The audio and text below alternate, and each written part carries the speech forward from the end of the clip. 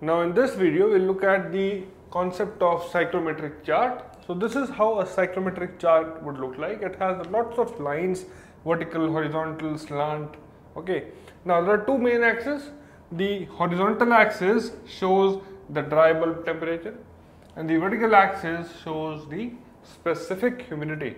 Right. So these vertical lines, these vertical lines in black, they show the dry bulb temperature. So TDB1, this is TDB2.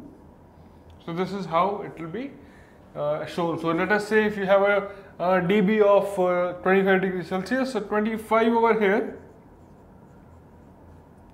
this entire line is showing 25 degrees Celsius of dBT. Okay, then you have the horizontal lines which cut on the vertical axis. So this is the specific humidity. Let us say this is omega 1 kg of water vapor per kg of dry air. Okay, so this is what this axis is showing. So this entire horizontal line indicates omega 1 uh, value of specific humidity. Now you have these slant lines. Okay. Now these black colored slant lines, there are two kind of slant lines. One is the black colored one and the other one is this red colored slant line.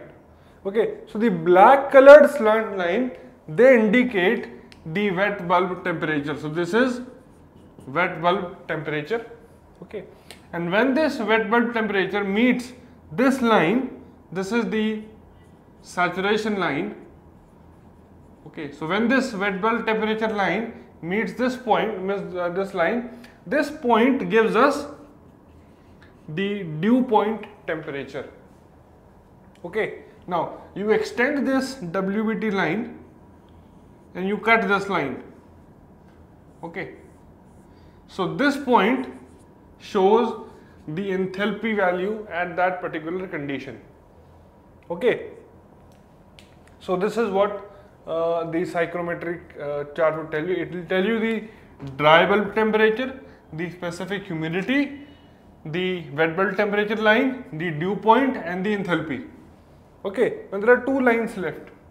These red colored lines and these blue colored curves.